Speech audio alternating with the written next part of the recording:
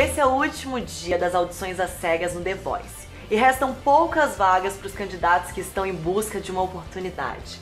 Hoje o Chico César, que começou a carreira participando em festivais, veio contar um pouco pra gente como é construir uma carreira de sucesso. Negam que aqui tem preto negão.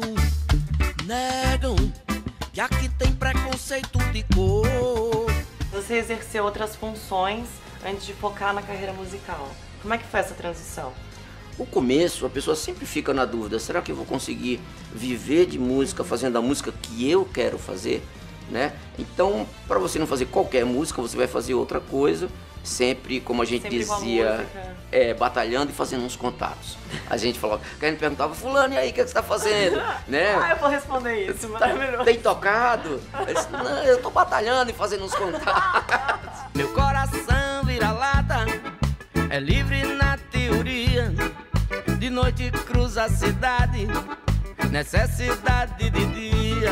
E muitos bons candidatos aqui no programa voltam com um não pra casa. Você já levou algum não? Olha, um não é sempre um talvez. Um sim também é sempre um talvez.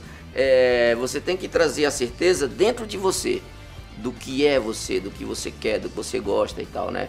Teve uma vez que eu fiz um show, aí chegou uma menina e falou: Menino, você canta muito feio. Mas eu tinha certeza que dentro daquilo que ela chamava feio havia uma ética e uma estética que era minha, era o meu jeito de me expressar, era como eu queria dizer as coisas. Hoje os times ficam completos e no Instagram tem vídeos e fotos de tudo que rolou nessa primeira etapa da competição. Fica aí que o resultado de hoje define muita coisa nessa disputa. The Voice é no canal Sony.